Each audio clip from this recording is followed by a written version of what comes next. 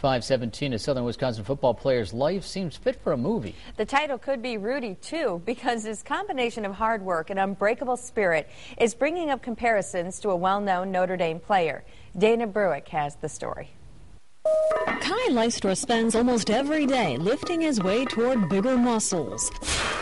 But this high school senior also is known for his big heart. Now that he's done playing, he's still up in the weight room five days a week teaching our younger players how to how to lift, and uh, he's doing a great job of that. As captain of the Cambria Friesland team, Lystra helped lead his teammates toward another conference title. He's more than a role model. He's probably an inspiration to a lot of people because uh, everybody in this community knows what he's been through and uh, are very aware of now he's giving back.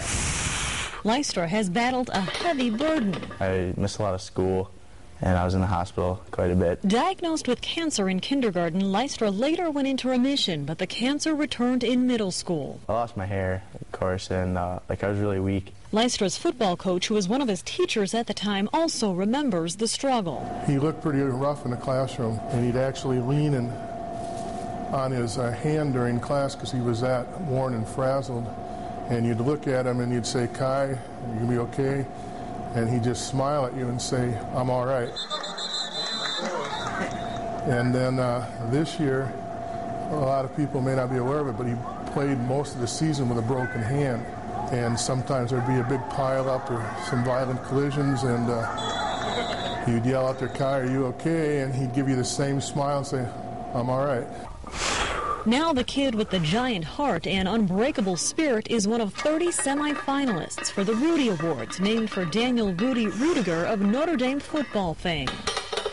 I've had Kai on my on my prayer list most of his life, so but now he's on my praise list. There's things we have to be thankful for, and you know the way he's recovered and the way he's grown and the leader he's become are things that uh, in a small community you're really thankful for. Coach Jim Bylsma nominated Lystra for the scholarship, saying his captain's an inspiration on the field and off, which is why he says vote early and vote often for number 68. Everybody that's been voting for me, thank you. Like, that's awesome. Wow. And we've made voting for Kai easy. We set up a link to the High School Rudy Awards voting website on our website, fox11online.com. Just click on Good Day Wisconsin. The winner who will take home a $10,000 scholarship will be announced February 3rd. The other two top finalists each receive a $5,000 scholarship.